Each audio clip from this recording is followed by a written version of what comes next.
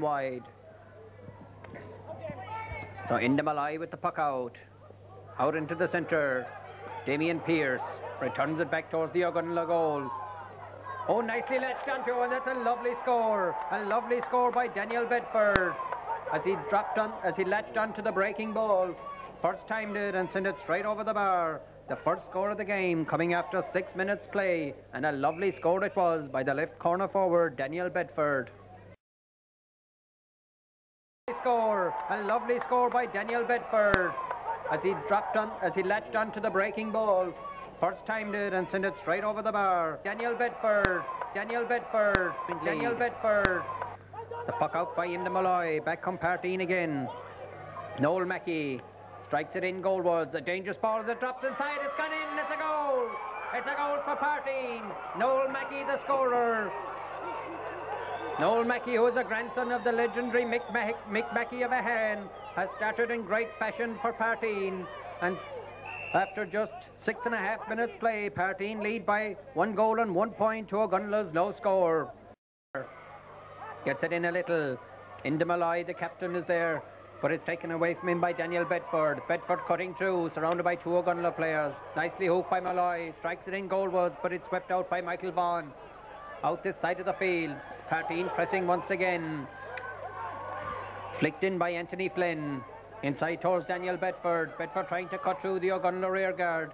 Being closely marked by Brian Ford. Oh, a dangerous one as it drops inside. Another good save inside by the goalkeeper, Joseph Meany. But the danger still not cleared across in front of the goal. It's it's gone in, a goal by Daniel Bedford. But the referee, Michael Fitzpatrick, has blown the whistle. He has blown the whistle and he's awarding a free out for a square infringement. And he goes straight out to Noel Mackey.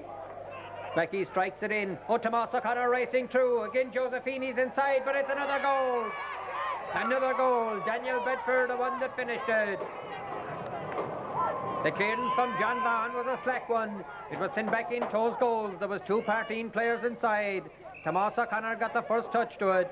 Joseph Meany blocked it, but Daniel Bedford was running too to crash it into the back of the net.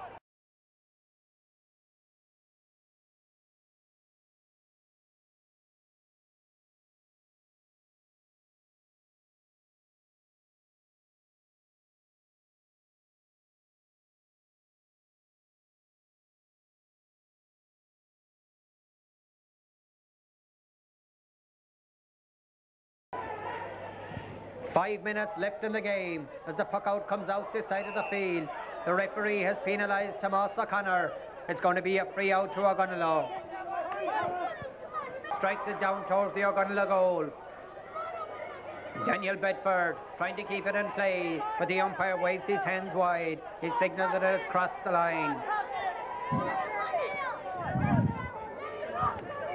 Inside, Half block down inside, and Dara Duggan is there to complete the clearance. Out this side of the field. Damien Pierce for Parteen. Back into the centre of the field. Dermot Kelly, or it's Joseph Mooney for Ogonnelloe. Took his eye off it for a moment. In nips Wayne Kennedy.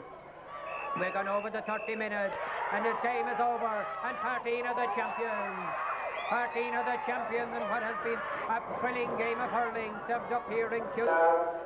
And unfortunately, there were beaten in the last few minutes, but when Damien Pierce.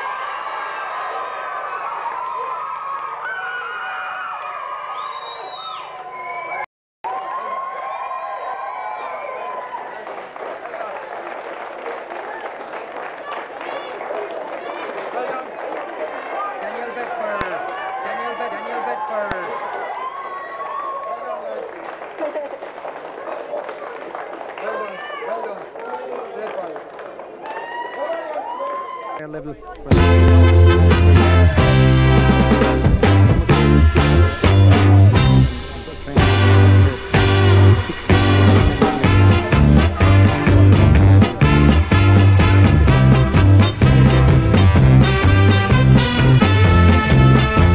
under 14 final indeed.